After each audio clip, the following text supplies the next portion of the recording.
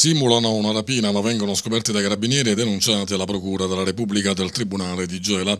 Protagonista sono due catanesi. Secondo quanto ricostruito dalle investigazioni, i due si sono recati presso la stazione dei carabinieri di Niscemi per denunciare di essere state vittime di una rapina perpetrata quando gli stessi, in qualità di dipendenti del mobilificio Mondo Convenienza, che si trova all'interno del centro commerciale Le Porte di Catania, si trovavano all'interno del mezzo utilizzato per portare la mobilia sulla strada provinciale 12 in direzione Niscemi-Gela.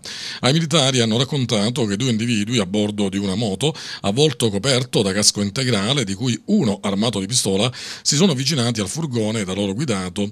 In quel momento uno dei due malfattori ha estratto l'arma minacciandoli affinché gli stessi consegnassero i soldi in loro possesso, riuscendo così a sottrarre ben 2.500 euro provento della giornata lavorativa.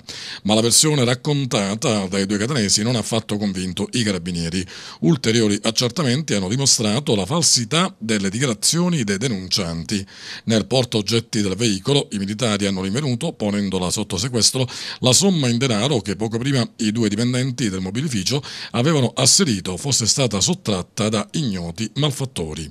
E i carabinieri di Gela hanno denunciato un polacco di 48 anni, operaio, per atti osceni in luogo pubblico. Su segnalazione di alcuni bagnanti che si trovavano sulla spiaggia di Montelungo, lungo, i militari si sono recati sul litorale alla ricerca di un soggetto di sesso maschile intento a prendere il sole completamente nudo. I militari, dopo una breve ricerca, hanno notato un soggetto integralmente svestito intento a passeggiare lungo l'arenile. Richiamato dai militari al decoro, l'uomo si è rivestito immediatamente ed è stato accompagnato in caserma.